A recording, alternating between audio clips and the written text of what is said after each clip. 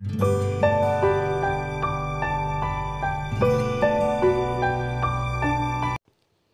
Friends मैं Gayatri how to make में आपका स्वागत करती हूँ और आज आपके साथ मैं शेयर कर रही हूँ फ़िश फ्राई करी जिसे मैंने बहुत ही सिंपल तरीके से बनाया है और इसे देखने से पहले आपसे रिक्वेस्ट करती हूँ कि आप वीडियो को फुल वॉच करिएगा और मेरे second channel S T M fashion and art by Gayatri, उसे भी ज़रूर वॉच करिए। चलिए शुरू करते हैं फ़िश फ्राई करी बनाना।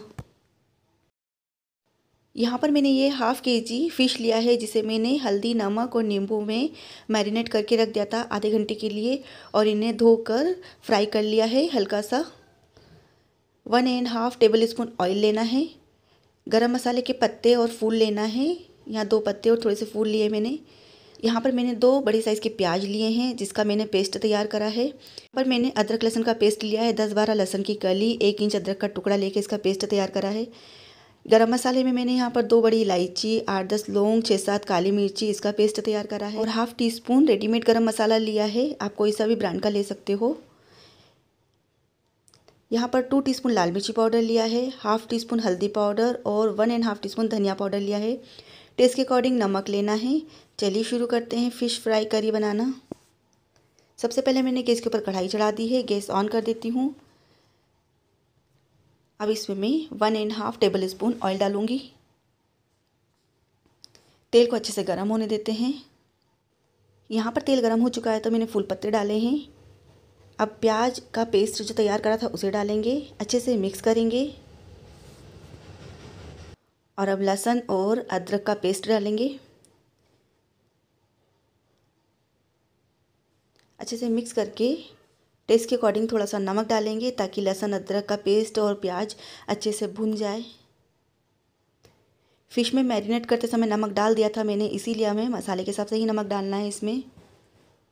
गरम मसाला पाउडर डाला है मैंने इसमें।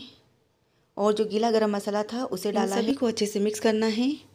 और जो सूखे मसाले लाल मिर्ची पाउडर हल्दी पाउडर धनिया पाउडर लिया था इसे भी हम डाल देंगे इसमें।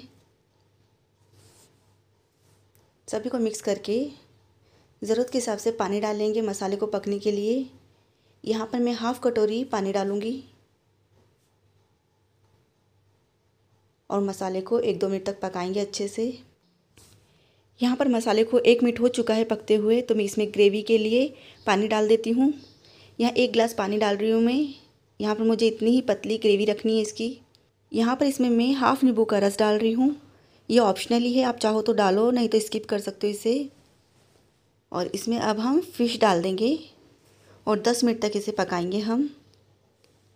इसे मैं ढक देती हूँ। यहाँ पर मैंने फ़िश डाल दी है और इसे ढक के पकाऊँगे 10 मिनट तक मैं। यहाँ पर फ़िश को 10 मिनट हो चुके हैं पकते हुए और ये काफ़ी अच्छे से पक चुकी है। तो मैं गैस ऑफ़ कर देती हूँ और आपको मेरी ये फ़िश फ्राई करी की रेसिपी कैसी लगी? अगर अच्छी लगी हो तो प्लीज़ लाइक शेयर और कमेंट करना नहीं भूलिएगा। पहली बार मेरे चैनल पे आए हैं तो प्लीज़ सब्सक्राइब ज़रूर कर दीजिए।